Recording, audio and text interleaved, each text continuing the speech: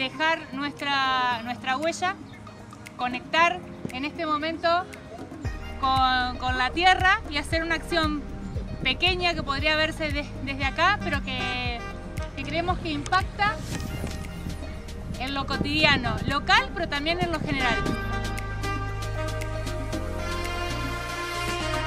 la escuela tiene la celebración de la Virgen Niña y se están haciendo varias actividades. Una de esas actividades eh, las estamos llevando adelante en este momento con plantación de árboles autóctonos y nativos con los chicos de tercero, cuarto y quinto año.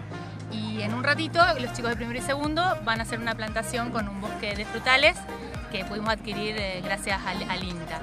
La idea es poder transmitir que eh, estamos cuidando nuestra casa, que es la madre tierra, y que lo hacemos con un acto concreto y que queremos que se multiplique. Nos encantaría que sucediera eso. Eh, para mí más que nada es importante porque vivimos en un parque nacional y que bueno, es un área protegida, eh, más que nada por la flora y la fauna y hay mucho en peligro de extinción.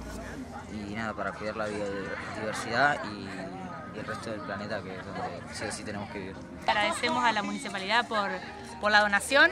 Eh, lo que sucede en el vivero, como toda la gente de Villa sabe, eh, la gente del vivero se compromete, busca renovales, los cuida, los hace crecer y en este momento es el momento ideal para plantarlos, así que ellos colaboran con esta acción. Y los frutales son frutales que adquirimos a través de, del INTA. Queremos agradecer especialmente a la gente de, Agenda Verde que participó en algunas clases que estuvimos dando eh, y que están en este momento presentes dándonos una mano con las, manos en, la tierra.